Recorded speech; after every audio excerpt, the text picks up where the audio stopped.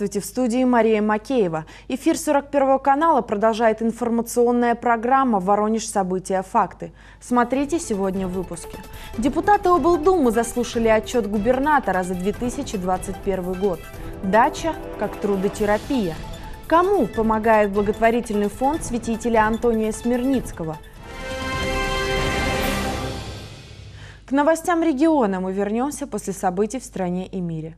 США жители Юволда приносят цветы к импровизированному мемориалу перед начальной школой, чтобы почтить память жертв смертельного нападения бандитов в четверг.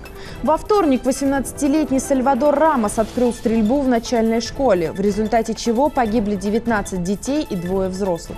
Стрелявший был убит сотрудником правоохранительных органов. Комментируя случившееся, жители города критикуют республиканцев, которые находятся в кармане у Национальной стрелковой ассоциации и требуют ужесточения законов о контроле над оружием. Госсекретарь США Энтони Блинкин выступил в университете Джорджа Вашингтона в Вашингтоне. Мы будем по-прежнему сосредоточены на самом серьезном, долгосрочном вызове международному порядку, который представляет Китайская Народная Республика. Китай – единственная страна, имеющая намерение изменить международный порядок, опираясь на растущую экономику, дипломатическую, военную и технологическую мощь, сказал Блинкин. При этом госсекретарь отметил, что в Белом доме считают Китай неотъемлемой частью мировой экономики. Кроме того, Пекин играет важную роль в решении глобальных проблем, поэтому двум странам придется иметь дело друг с другом. Это будет происходить не в качестве одолжения нам или кому-либо, и точно не в отказ от наших принципов, а потому что совместная работа над решением масштабных проблем – это то, чего мир ожидает от великих держав, сказал он. Ирак. Иракские законодатели в четверг единогласно приняли закон, который делает нормализацию отношений с Израилем преступлением. Наказуемым в некоторых случаях пожизненным заключением или даже смертной казнью. Согласно закону, всем иракцам, государственным чиновникам, правительственным учреждениям, компаниям частного сектора, средствам массовой информации запрещено создавать отношения с Израилем, посещать страну или содействовать нормализации отношений с Тель-Авивом. Закон под названием «Криминализация нормализации и установление отношений с сионистским образованием» был предложен шиитским священнослужителем Муктадой Ас-Садром и был принят как реакция на то, что все больше стран Персидского залива и арабских стран стремятся нормализовать отношения с Израилем. Государство Палестина – Израильский солдат несет ответственность за смерть Ширин Абу Аклех, заявил палестинский прокурор Акрам Аль-Хатиб в четверг во время объявления результатов расследования в Рамале. Было доказано, что военнослужащий израильской оккупационной армии, дислоцированный в середине переулка, выпустил боевую пулю и ранил журналистку Ширин прямо в голову задней левой стороны когда она пыталась убежать от выстрелов, произведенных оккупационными солдатами, пояснил он. По данным следствия, пуля, убившая журналистку, была выпущена из полуавтоматической винтовки, которая используется израильскими военными.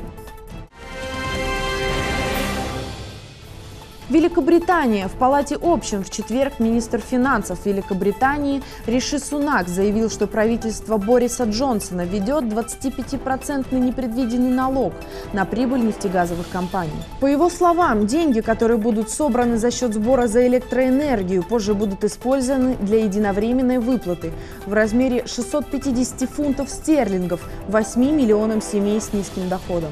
Сунак объяснил, что новые меры являются временными, и когда цены на энергоносители вернутся к более исторически нормальным уровням, налог будет постепенно отменен.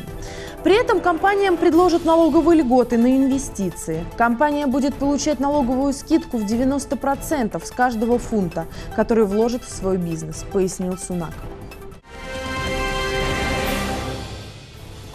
Нидерланды. Около 175 активистов движения «Восстание против вымирания» были арестованы после акции протеста возле здания нефтяной компании в Роттердаме во вторник. Протестующие приклеились к транспортным средствам и улицам, прикрепились к трубам и перекрыли дорожное движение в городе.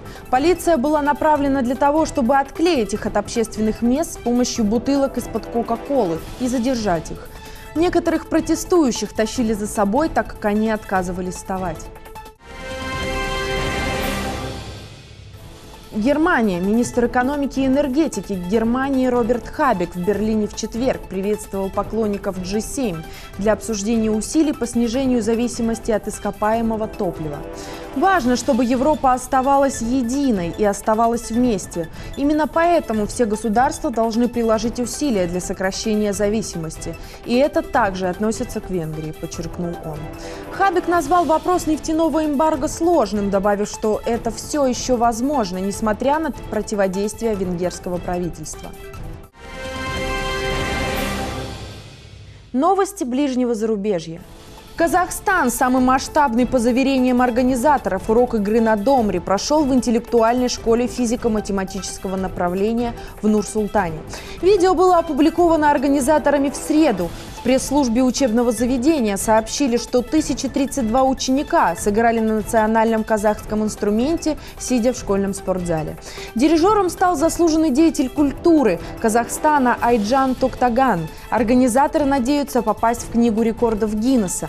По требованию организации за уроком наблюдали более 25 стюардов и два свидетеля. Домра – сакральный инструмент для каждого казаха, и внесение нашего урока в книгу Гиннесса – это открытие Домры всему миру, считает дирижер.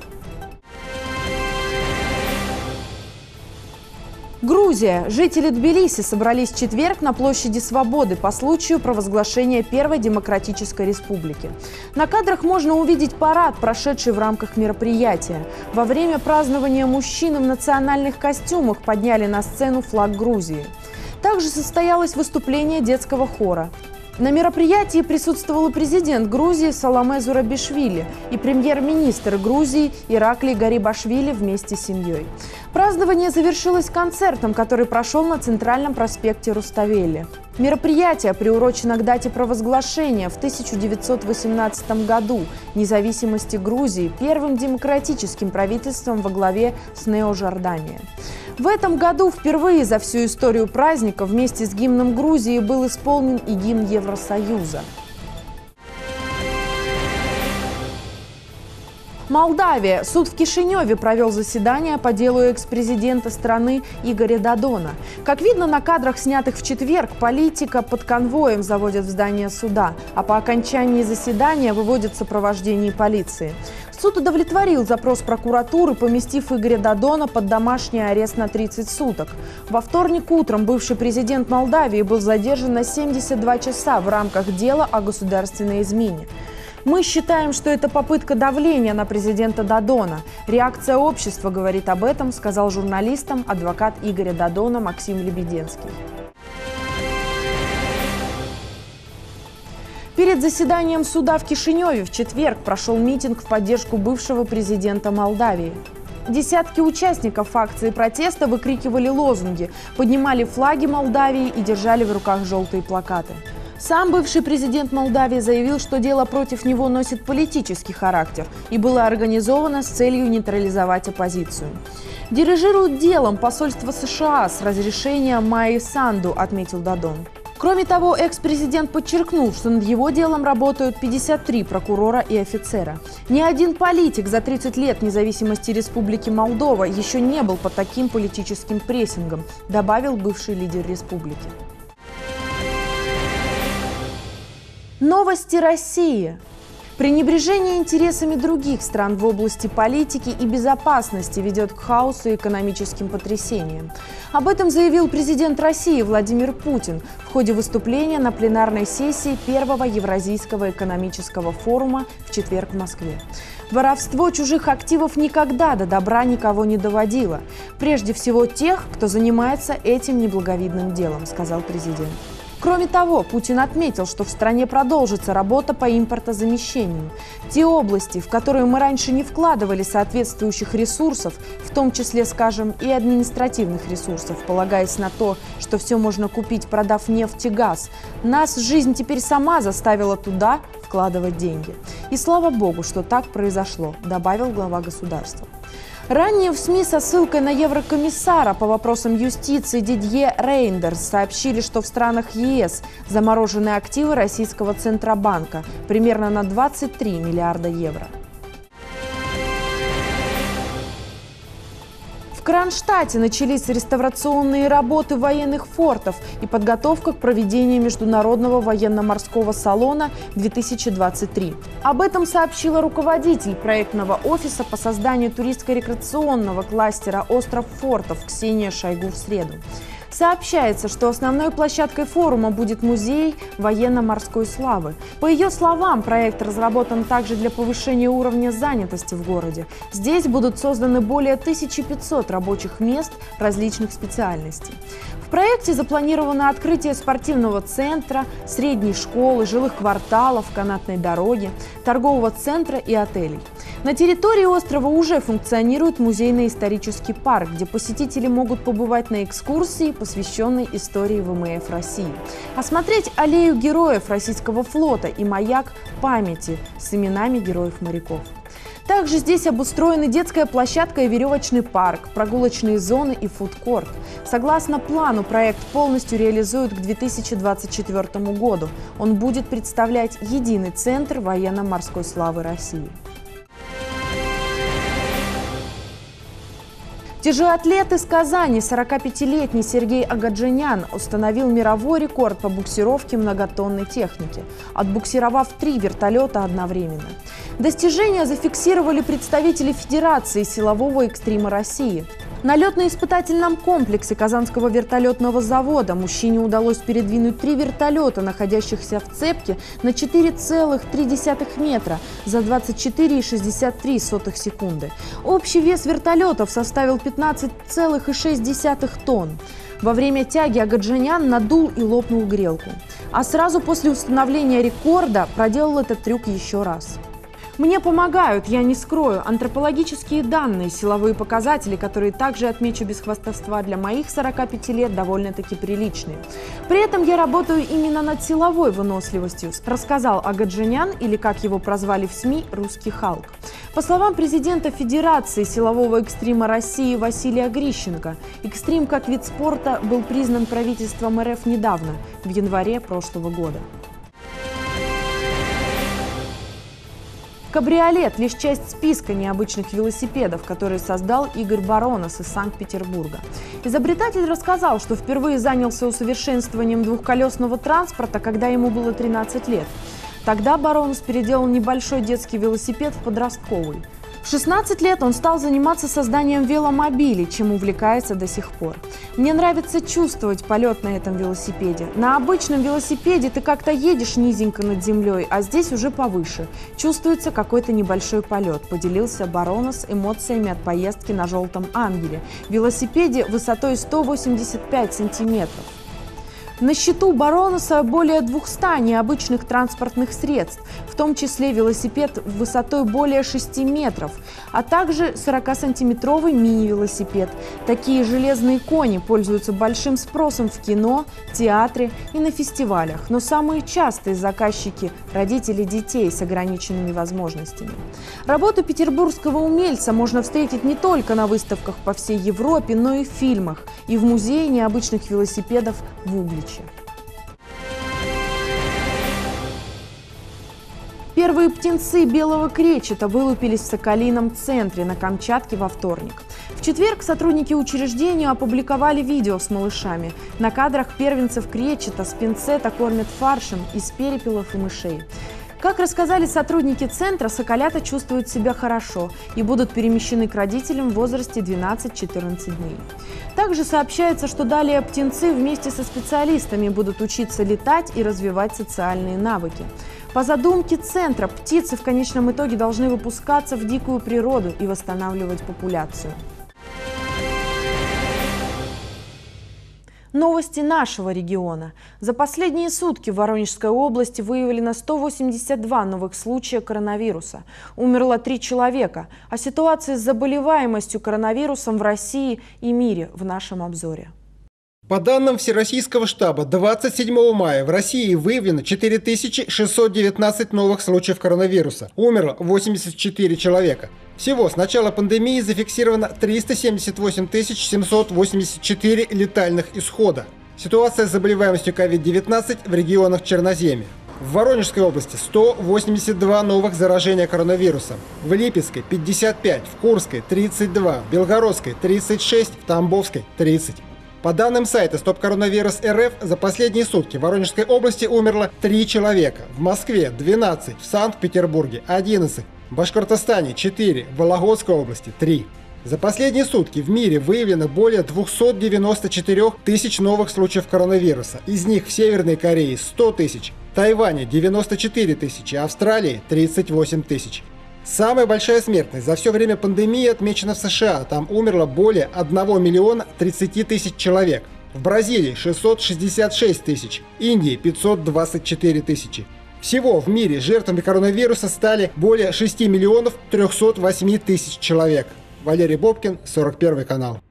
26 мая депутаты Воронежской областной думы под председательством Владимира Нетесова заслушали отчет губернатора о результатах деятельности облправительства за 2021 год. Отчет главы региона затронул такие темы, как борьба с коронавирусом и новые вызовы в условиях ужесточения санкций.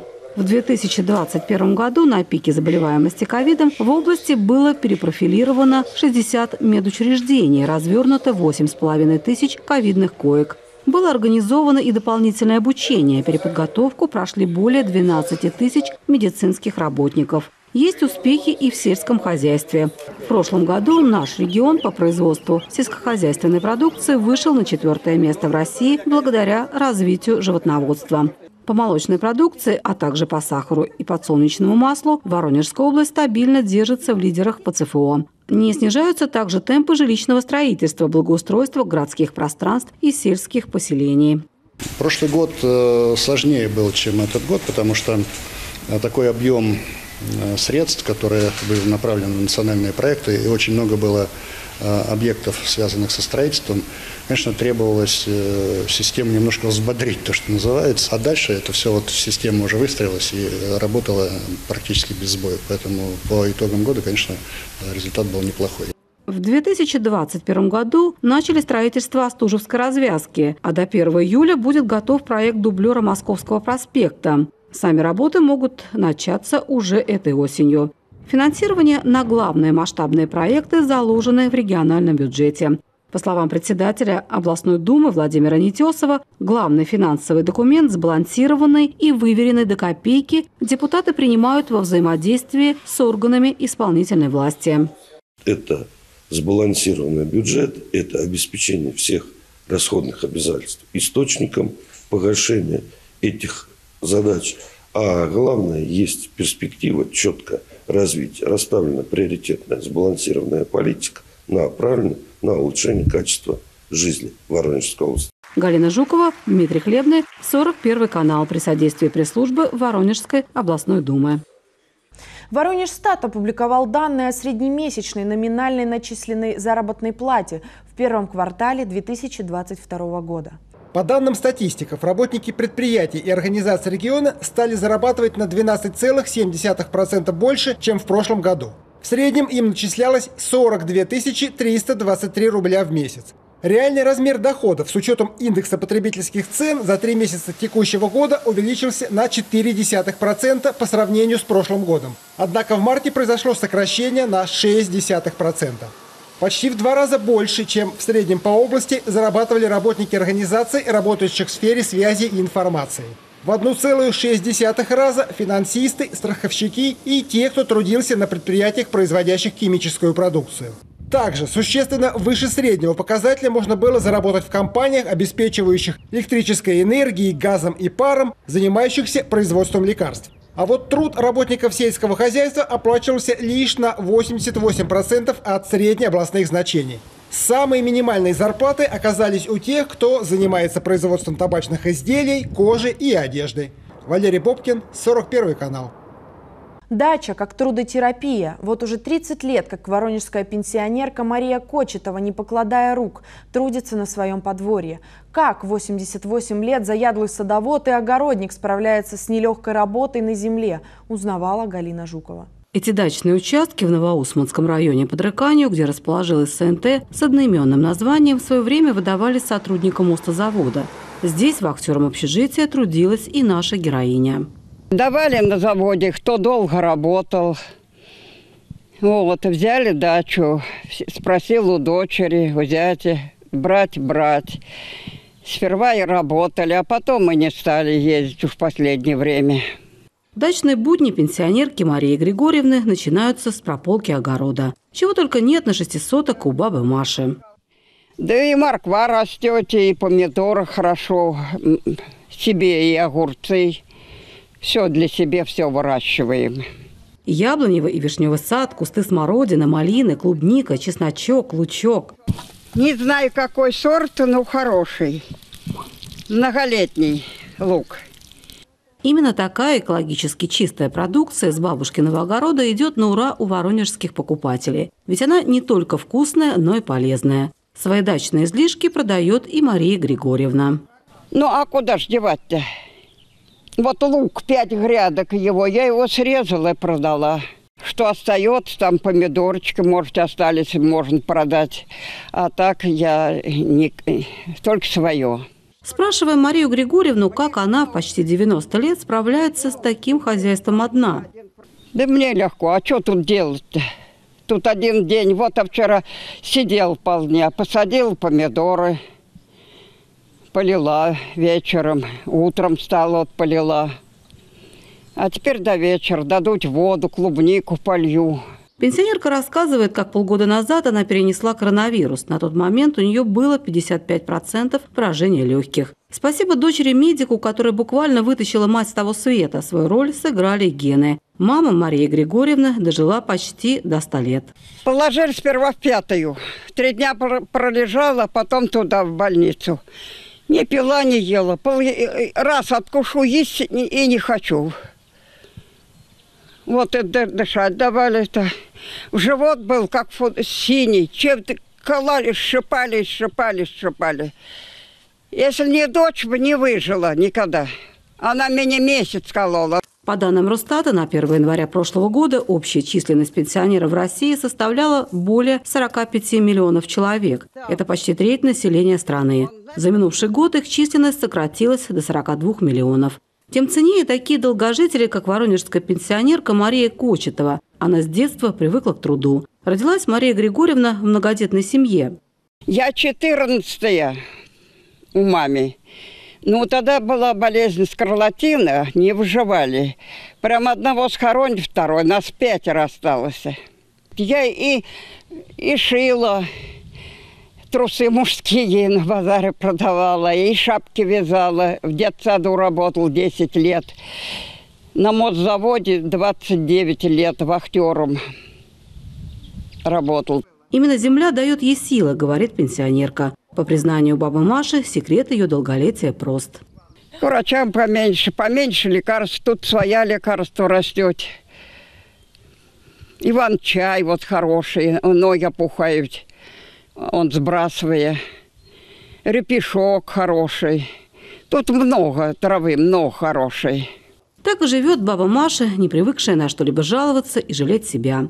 Пенсионерка говорит, что еще успеет отдохнуть на том свете, а здесь отдыхать некогда. Дача для Марии Григорьевны – это настоящая отдушина, которая дает силы жить дальше, ведь движение – это жизнь. Галина Жукова, Валерий Бобкин, 41 канал. Благотворительный фонд святителя Антония Смирницкого в своей работе опирается на успешный опыт церкви в борьбе со страстями и пагубными зависимостями на протяжении тысячелетий. У фонда на территории России более 60 православных центров. О работе Воронежского отделения расскажут наши корреспонденты. Численность населения Воронежской области составляет 2 миллиона человек, из них 15% детей и 28% пожилых. По данным регионального департамента социальной защиты населения, более 8% населения Воронежской области находится за чертой бедности. Это примерно 200 тысяч человек. В зоне риска в основном старики, многодетные инвалиды. Снижение доходов работающих происходит по известным причинам. Кто-то остается без работы. Но на фоне недавнего скачка цен не только бизнесу приходится держать удары, но и обычным воронежским семьям. Хуже всего приходится одиноким старикам, тем, которые в трудной жизненной ситуации оказывает помощь благотворительный фонд Антония Смирницкого. Раздача бесплатных обедов и доставку еды проводят в Воронеже каждую среду и субботу. Ну, вот по субботам мы кормим порядка 65 человек, а по средам развозим, ну, где-то у нас 40, вот 42 набора в прошлую среду развозили. И в каждый день к нам приходят около 25 человек. То есть на выходных до 100, а в будни ну, 20 приходят? 20-25, да. Приходят, да, каждый день. Мы их кормим горячими обедами. Что на обед сегодня? А, сегодня на доставку у нас э, гречка, а, куриная, бедро, куриная голень запеченная, салат весенний из свежих овощей, а, булочка, обязательно сладости и, конечно же, фрукты, банан. Источники и статистика говорят о том, что основная масса пожилых людей и инвалидов малоимущие. Почему государство не всем может обеспечить достойную, ну или хотя бы близкую к нормальной старость? Очень много уходит на лекарства. Потому что лекарства дорогие, лекарств много выписывают. Но наши подопечные на самом деле говорят, да, что пенсия маленькая, а вот, хватает только заплатить за квартиру и приобрести необходимые лекарства. Вот, и поэтому благодарят, что вот привозим им еду, и они нуждаются, они действительно в этом нуждаются. Всего лишь одна улыбка пожилого человека – это уже так много, ведь каждый из нас может чем-то помочь. То, что является мелочью для нас, становится большой ценностью для стариков. В настоящее время помогаю не так часто, как хотелось бы, а, ну, потому что дома сейчас подрастает уже пять помощников. Многодетная мама и по совместительству скульптор Лейла считает, что в христианской морали добро, которое мы отдаем, в стократном объеме нам возвращается. Волонтеры приходят, э, да, обращаются, узнают о том, что есть э, такая возможность поучаствовать в помощи, оказании помощи. Э, звонят, договариваемся, приходят. Но вот из всех тех, кто обратились, остались вот у меня вот где-то 10 человек, волонтеров, которые постоянно приходят и принимают участие в приготовлении и доставке. Ну, по выходным вот особо много. В субботу приходят сюда, мы на 100 человек готовим. Вот, массовое такое кормление. Ну, так, в течение дня по 20 человек. По средам вот развозим. Анна, домохозяйка и волонтер благотворительного фонда, считает, что помогать ближнему мы должны не только по Божьей заповеди. Помогая людям, попавшим в трудную жизненную ситуацию, они сами получают силы и утешение. Таким образом раскрывается божественный замысел о человеке. Любовь к Богу и ближнему наполняет каждого волонтера смыслом жизни, вдохновляет к новым свершениям на Неве милосердия пенсионеры, есть и инвалиды, есть даже у нас э, слепые, которые не видят, то есть не могут даже подойти к плите, элементарно подогреть, разогреть себе еду. А, вот. И поэтому для них это еще очень важно, что мы привозим им горячую еду, а, они едят ее с удовольствием. Вот случай даже был такой, приехали к бабушке, у бабушки рукав на халате обгоревший, потому что она, то есть она подошла к плите, захотела подогреть себе э, покушать, и э, произошло воспламенение. Ну, вот, слава богу, что рука не, пострад... не пострадала тело, а вот халат сгорел. Поэтому, конечно, ну, наверное, поэтому вот и стали заниматься доставкой еды по домам. Антонине Михайловне 83 года. Воронеж она приехала из Орловской области в 1964 году по направлению после окончания Московского института искусств. Устроилась работать в Никитинскую библиотеку, где проработала 45 лет. Только единственная церковь Богоявленская привозит домой еду необходимую и качественную, вкусную, здоровую пищу. Так что спасибо большое очень благодарна, признательна. По статистике, в России четверть пожилых людей одиноки. Болезнь, бедность, недостаток внимания и обычного человеческого общения. Это главные жалобы старшего поколения Воронежа. В сложной ситуации не нужно задаваться вопросом, почему надо помогать пожилым. Важно незамедлительно действовать, чтобы спасти человека и не оставить его одного наедине со своей бедой. В регионе появится Красная книга почв в Воронежской области. Об этом сообщили в Департаменте природных ресурсов и экологии. Такое решение принято для формирования сведений и анализа состояния редких и находящихся под угрозой исчезновения почв.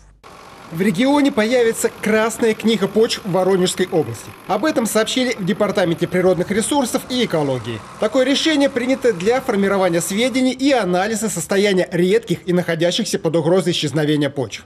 Чтобы сформировать Красную книгу, были проведены полевые научно-исследовательские работы на территории всех районов области. Было выделено 94 разновидности почв. Их разделили на 5 охраняемых категорий эталонные почвы, редкие, исчезающие, уникальные и агроземы. Почвы нашей области не имеют аналогов во всем мире. От того, в каком состоянии почва, зависит экологический ландшафт и вся биосфера в целом, так как почва является катализатором процессов обмена веществ и энергии. Изучение состояния почв позволяет оценить характер и направление изменения окружающей среды и прогнозировать их последствия. Первое печатное издание Красной книги почв Воронежской области выйдет в конце этого года. Валерий Бобкин, 41 канал. Это все на сегодня. Ждем от вас обратной связи. Звоните нам по телефону 206 9406. Пишите по электронному адресу, который вы видите на экране.